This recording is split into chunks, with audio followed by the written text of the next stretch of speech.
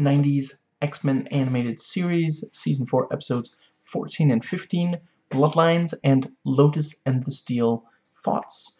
So, spoilers for the show leading up to and including these two episodes. Uh, another two episodes I absolutely love. So, the top link in the description box allows you to donate to the SAG-AFTRA Strikers. Please do so. And then there are a bunch of links to videos that help explain why this is such an important strike. And I put a collection of my favorite Wolverine solo stories up behind me since Lotus and the Steel is indeed a very solid Wolverine solo story. So, let's dive in to Bloodlines. So, yeah, at the start we're told, you know, things are so bad that some mutants have to be escorted to school, and this is something that actually did happen in the 60s. You know, a number of African-American kids, yeah, they needed escort. You know, yeah. I, uh, military escort, some, yeah, to, in order to, to safely get to school. And I appreciate, like, the Friends of Humanity leaders are straight up wearing, like, something very re strongly resembling KKK hoods. And, uh, yeah, we again see this obsession that the Friends of Humanity have with your, you know, family line and the, the supposed purity of it. And Wolverine does not like Halloween because mutants don't get to just go back to their lives the rest of the year. And yeah, you can really appreciate his perspective. And yeah, Nightcrawler shows up again, very cool. Only the second time we've seen him, and yeah, like like Lindsay Ellis pointed out in at least one of her videos on the show, yeah, he is unbearably preachy on this show. And you know hearing him talk about you know like basically saying you know you have to be meek you know just I, I can't hear that anymore and not think about how you know a number of conservatives are finally being honest and saying that they can't stand woke Jesus which it's just it's like I've I've been saying for years you get one. You you can be you can say that you're Christian if you actually follow the teachings or you can say that you know people should live this really hard right kind of way of living but claiming claiming to be Christian claiming to be Christian and also preaching these values that are so counter to Christianity, to, to Jesus' teachings. The, the, the hypocrisy is some of what bothers me the most about that. You know, I have a number of other issues with Christianity, but, like, if you're at least willing to live the way that it, you know, that your ancestors burnt people on the stake for not doing, you know, that's at least something. Mystique gets an epic intro stepping out of the the darkness and just the way the light just fantastic. Really really well done. And yeah. Creed actually uses gas as an attack in order to wipe out a group of human beings that he feels are inferior to him. It could not, like, literally, he is a Nazi. You know, it, it could not be any more explicit. Like, again, I don't think they're allowed to say, to, to identify a villain as a Nazi on a kid show in, in the 90s on, on, like, you know, this cartoon kind of thing, you know. But this is as explicit as they could possibly get. And I appreciate Jubilee acknowledging that this is very soap opera like everyone's related to Mystique in in some way. That's an exaggeration, but nevertheless.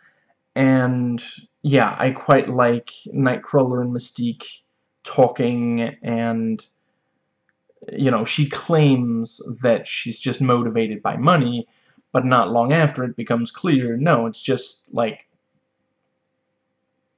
she had a difficult time you know, making, you know, she was, she lived a very uncertain life. There were a lot of dangers towards her. When she was rich, she was protected against a lot of those. So it's not that she's greedy, it's that she's afraid.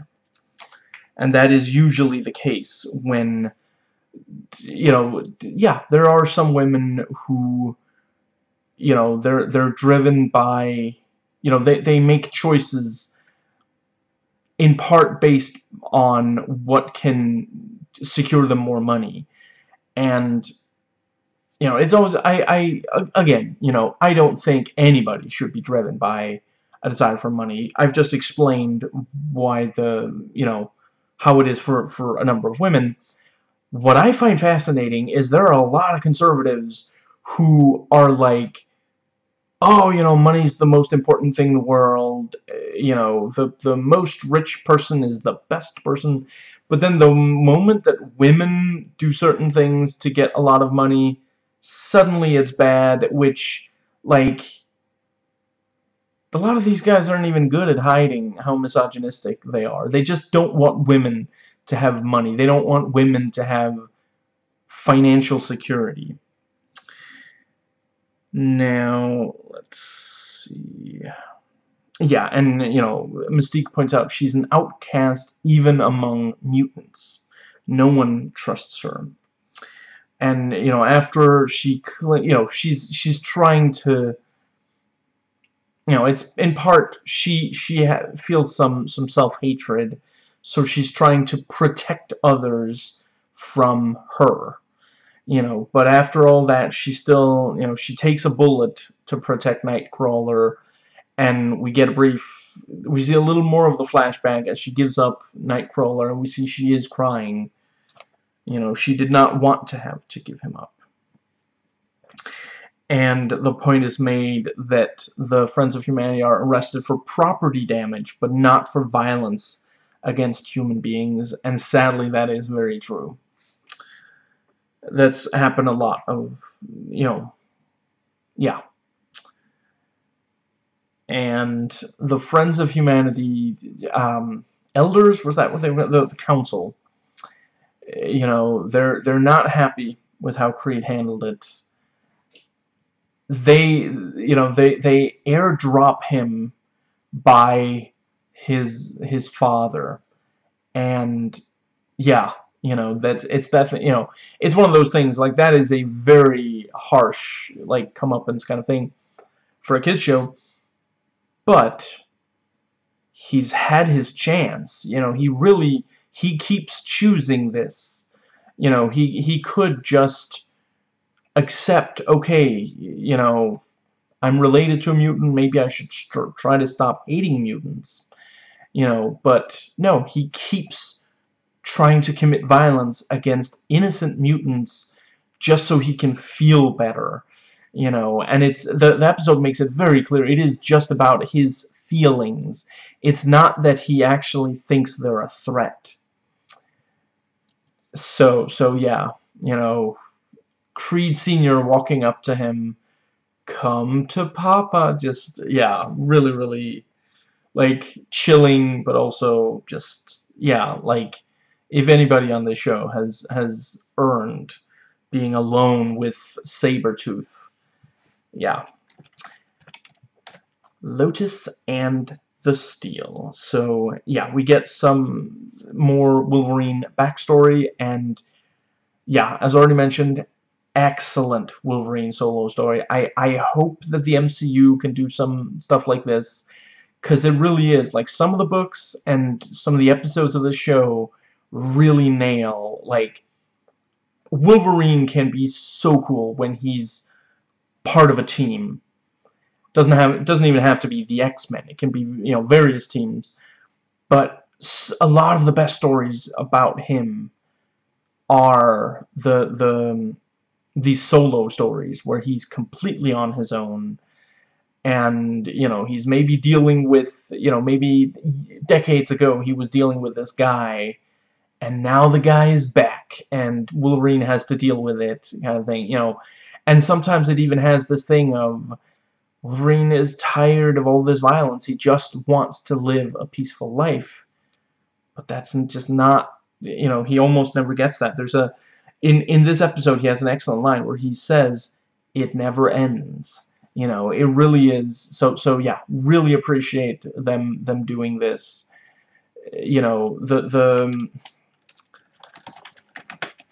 let's see. Um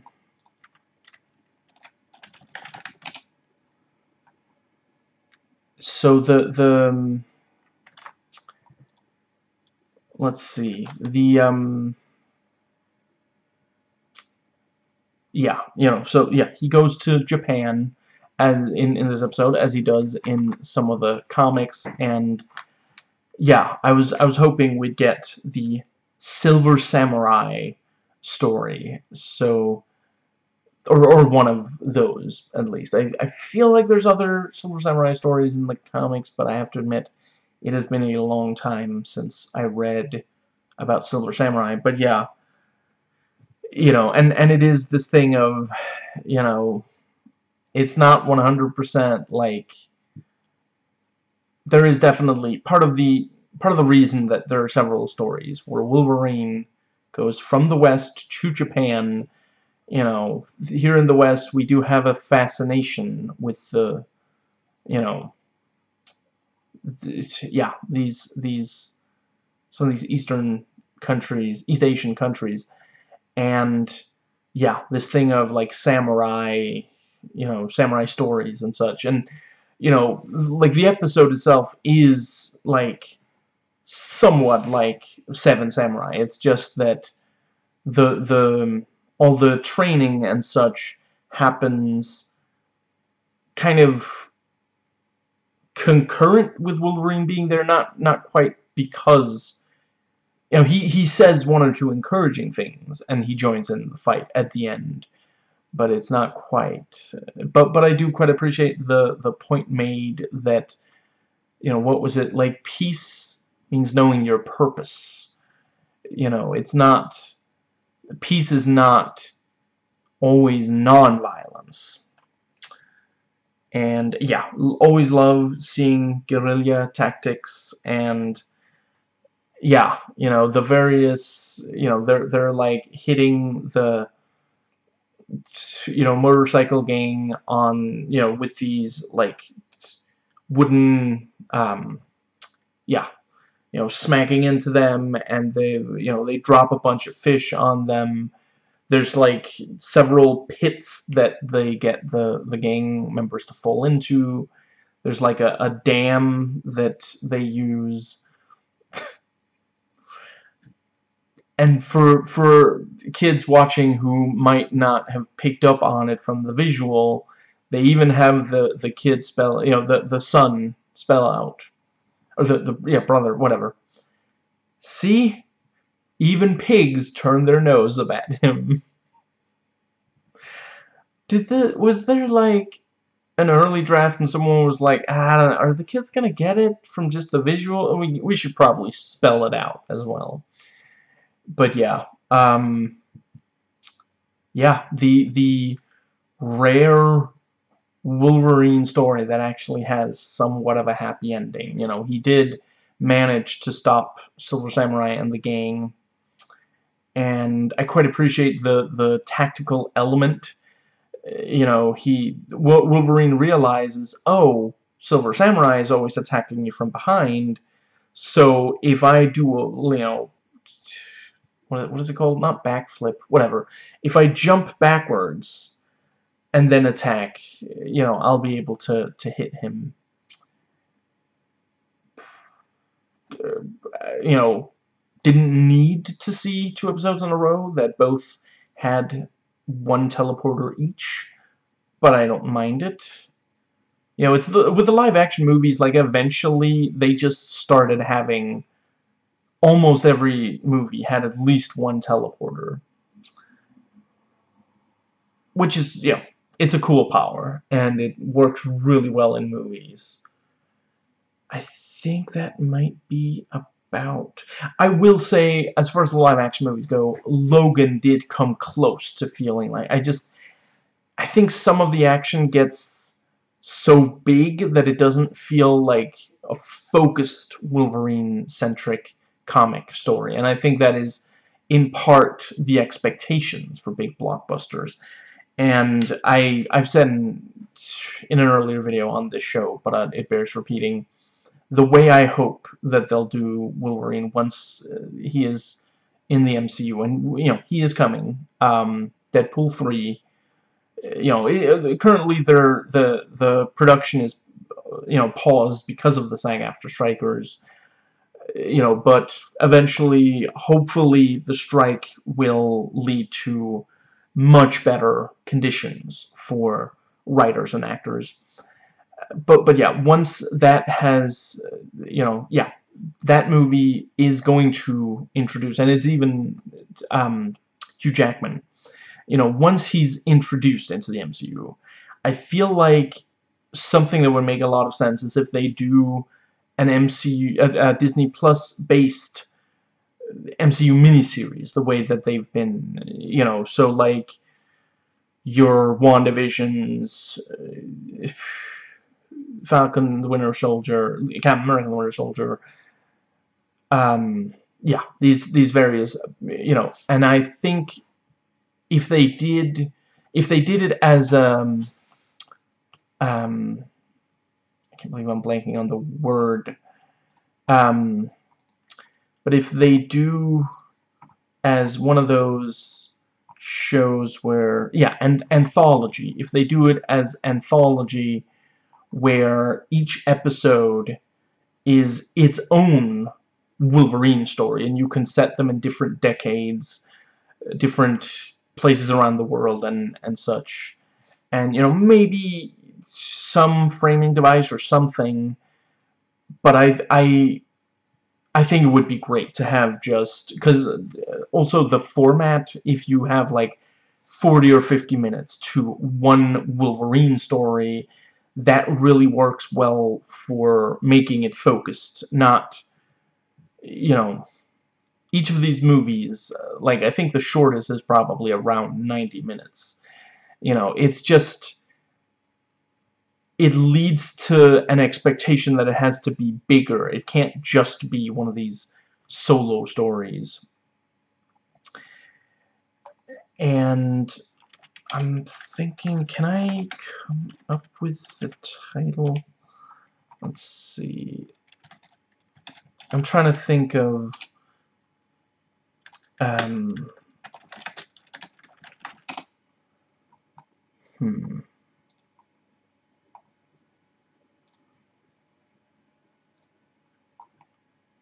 yeah, um, that is, yeah, that is it for this one. So, yeah, uh, catch you again tomorrow, where we will be talking about Weapon X Lives, Lies and Videotape, which is an excellent title, and have yourself a Morlock Little Xmas. So, yeah. Catch you again tomorrow. Make my marvel.